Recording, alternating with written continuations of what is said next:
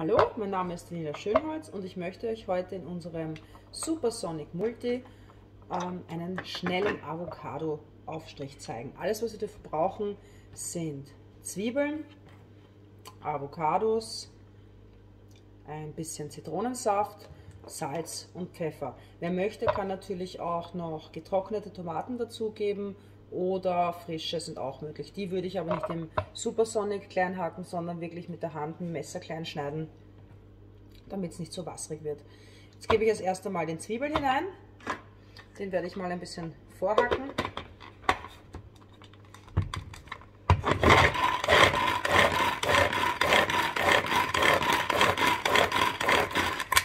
Ein paar Mal ziehen. Dann gebe ich meine Avocado hinein. Könnte ganz einfach mit einem Löffel aushöhlen. Wichtig ist beim Avocado-Aufstrich, dass die Avocado weich ist und nicht hart, weil sonst ist der Aufstrich, ich habe es schon probiert, der schmeckt dann nicht so gut. Also schaut, dass die wirklich essfertig ist. Beziehungsweise wenn ihr sie ähm, hart kauft, also die sind dann wirklich steinhart, die äußere Schale, dann lasst es ein paar Tage liegen, bis sie schön weich ist. So, jetzt habe ich den aber die Avocado dazu gegeben. Ich noch ein paar Mal.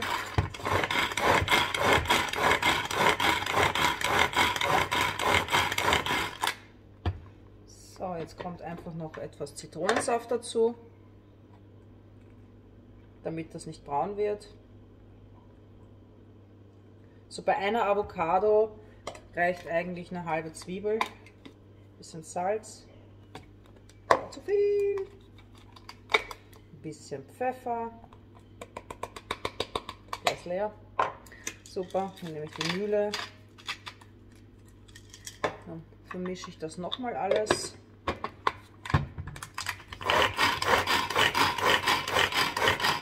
Bis ihr einen richtig schönen feinen Aufstrich habt, der nicht nur irrsinnig lecker schmeckt, sondern Avocados liefern auch irrsinnig gesunde Fette. Also wenn's, wenn dir euch jemand sagt, Avocados sind viel zu fettig, nein, das sind die guten Fette. Die dürfen wir essen. Das schmeckt besonders gut auf einem Baguette, so als Bruschetta oder als Dip ähm, zum Kinoabend mit Nachos schmeckt das auch irrsinnig lecker und wir essen das auch so irrsinnig gern. Und das war's auch schon. Das war die ganze Hexerei. Wie lange hat das jetzt gedauert? Eineinhalb Minuten. Die Zwiebel vorher schälen. Dauert ja auch nicht ewig lang. Die Avocado entkernen und aushöhlen. Würzen nach Geschmack. Und wie gesagt, mit getrockneten Tomaten oder gehackten frischen Tomaten schmeckt das Ganze auch sehr gut. Und gibt noch so einen extra, extra Kick dem Ganzen. So, das war es jetzt auch. Das hat gedauert zwei Minuten insgesamt.